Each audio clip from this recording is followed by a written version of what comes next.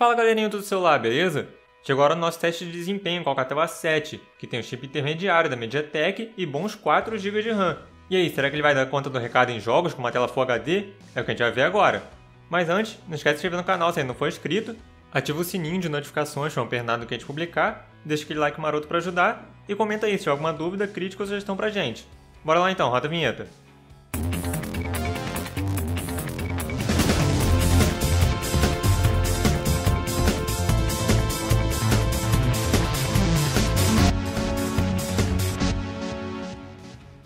Sempre, começamos pelo teste prático de execução de aplicativos, onde abrimos aí 12 apps e retornamos a eles para ver como o aparelho está gerenciando. Nas especificações técnicas, temos o chipset MediaTek MT6750T com 8 núcleos até 1.5 GHz, GPU ARM Mali T860 MP2, 4 GB de RAM e 32 de espaço interno, expansível microSD. A tela IPS LCD de 5.5 polegadas Full HD, dando aí um trabalho maior para a GPU renderizar as aplicações gráficas. Vamos ver então como o aparelho se sai.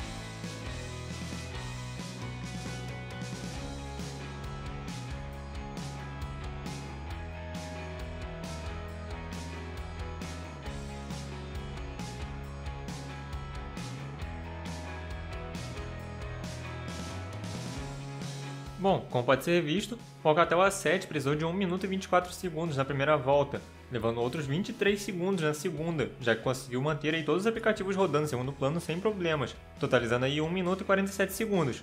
Isso coloca o modelo da Alcatel à frente de aparelhos bem mais caros como o Galaxy A7 2017, demonstrando que investir em 4 GB de RAM foi uma ótima ideia. Passamos então para os testes de benchmark, começando pelo popular AnTuTu. Por aqui, o Alcatel A7 não surpreendeu, ficando mais ou menos na mesma média de outros intermediários de entrada, aí, como o Moto G5, por exemplo, e conseguindo marcar 43.470 pontos. Passando para o Geekbench, tivemos também pontuações parecidas com o que foi encontrado em modelos com o Snapdragon 430 e com o próprio Mediatek MT-750, demonstrando que o Alcatel A7 não vai deixar a desejar em nada para outros aparelhos nessa faixa de preço. Na pontuação single core, tivemos 611 pontos, ficando com 2.536 pontos no multicore e 1.732 pontos no teste GPU do Geekbench. Seguimos então para testes focados no desempenho gráfico, começando pelo 3D Mark, onde foi executado o Slingshot Extreme. Por aqui, o Alcatel A7 conseguiu uma pontuação até um pouco melhor do que o modelo Esquadrão 505, marcando 381 pontos e demonstrando que o desempenho em jogos pode ser aí melhor do que muita gente imaginava. Por último, mas não menos importante, temos o GFX Bench, onde o Alcatel A7 conseguiu 7.3 FPS no Manhattan com a resolução nativa da tela, 6.8 FPS no Manhattan off-screen e 17 FPS no T-Rex, tanto com a resolução nativa quanto na variante off-screen. A terceira e última parte do nosso teste de desempenho consiste na execução de jogos, onde usamos o Game Bench para medir aí a fluidez e estabilidade dos títulos, além de vermos também o consumo de alguns componentes, como CPU, RAM e GPU. Começando do Asphalt 8, tínhamos a taxa de 20 FPS em média, lembrando que o jogo foi executado com sua qualidade máxima. Então se você quiser algo um pouco mais fluido, é só baixar um pouco aí o nível de detalhes. O consumo de CPU ficou em 37% e o de RAM na casa de 628 MB. Passando para Asphalt Extreme, jogo mais recente da franquia, tivemos algo um pouquinho pior, com 18 FPS em média, consumo de CPU em 39% e de RAM em 670 MB.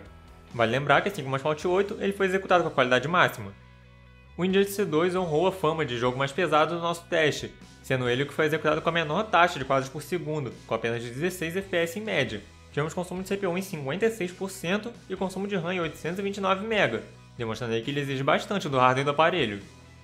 Passando para o Modern Combat 5, tivemos uma taxa média de 35 FPS, o que é até bacana, mas vale notar que em alguns momentos ele fica mais fluido que isso, enquanto em outros ele fica bem abaixo, principalmente quando temos muitos projéteis e outros elementos na tela.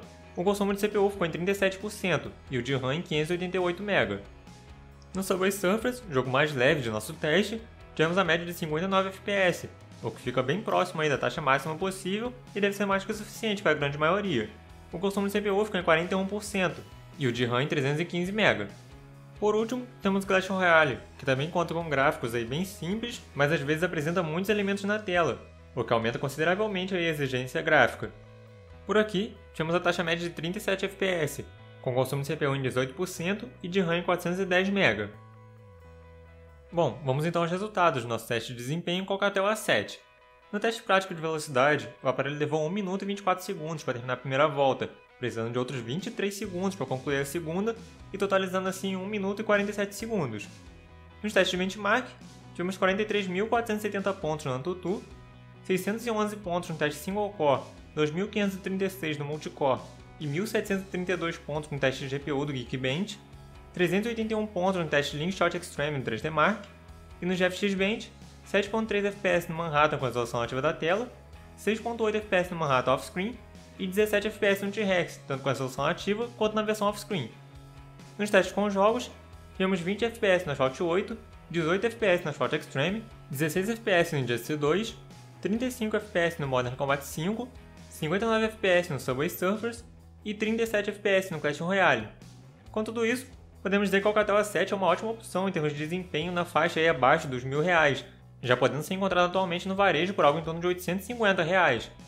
Ele se sai muito bem no desempenho prático, contando aí com uma ótima multitarefa por causa da quantidade massiva de RAM, e não é tão ruim nos jogos, conseguindo executar os títulos mais simples sem grandes problemas e até mesmo um ou outro mais pesado, desde que você reduza a qualidade gráfica. Mais detalhes do nosso teste de desempenho, como sempre, você encontra a pauta completa em texto, que vai estar no card aí em cima e também na descrição. Se tiver interessado no Alcatel A7 e esse vídeo te ajudou de alguma coisa, dá uma olhada na descrição também que tem um link para o nosso comparativo de preços, onde você pode encontrar ele por um preço mais bacana e ainda ajuda o canal. Deixe aí seu like se ainda não fez isso e comenta o que achou do Alcatel A7. Eu sou a Simandé para todo o celular e vou ficando por aqui. Até a próxima!